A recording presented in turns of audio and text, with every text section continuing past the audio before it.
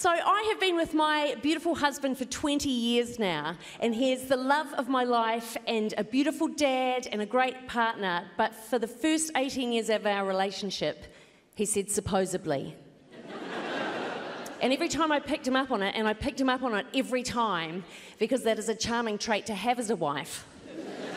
He'd say, No, no, no, I said supposedly. But our son is finally old enough to pick him up on it as well, and under our two pronged attack, He's crumbled and he's admitted he was saying supposedly all along. Gaslit me for 18 years.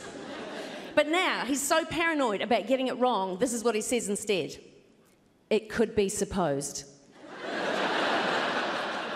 and now I live with a fucking professor. It's like every conversation is suddenly a philosophical discussion. What time is the tradie coming tomorrow? Eight o'clock? It could be supposed. Ah, marvellous. We've got Schrodinger's plumber.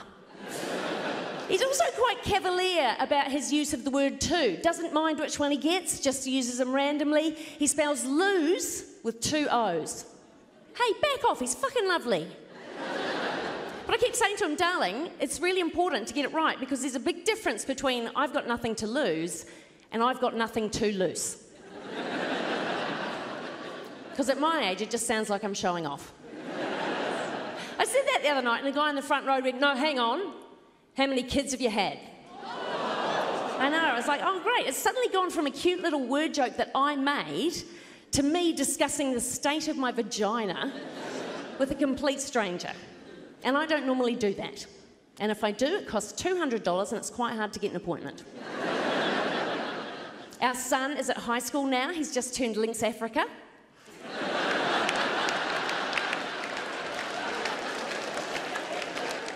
I've never been to Africa, and I've never sniffed a lynx, but I'm willing to bet that neither of them smell that chemical. Like, he'll put it on in the bedroom, and a couple of minutes later in the kitchen, the cats just start acting a bit weird. Just... My son's very good at making me feel old, but he is not as good as TikTok at making me feel old. I'm on TikTok. Uh, if you are not on TikTok, you are leading full, rewarding lives. My cats, uh, my two cats are doing quite well on TikTok, which is a, a real sentence. Uh, so well, in fact, uh, I've been asked to be an ambassador for the Cat Protection Society. And I know that thrills me, and you're all going, well, that's a hoarding situation. Uh, it's not, although I did visit their facilities, and now we have three cats. Um, and I don't know whether you know this, but two cats is two cats, and three cats is a fuckload of cats. we just have so many cats. Uh, and, and if you are a cat owner in the audience, is it possible for you to keep your cat off the bench? No, it's impossible. They're up there all the time. I hate it. But whenever we have someone over for dinner and one of them gets up there, I go, oh, well, he's never done that before. We spent a long time choosing a name for the new cat. It was very difficult because my son insisted that it have an aquatic theme, like our other two cats, Pirate and Barnacle. He goes, What about Finn? I said, No, we can't call it Finn. I know a child called Finn. What about Anchovy? And he said, No, I know a child called Anchovy. I said, I've raised you too well, my friend. Touche.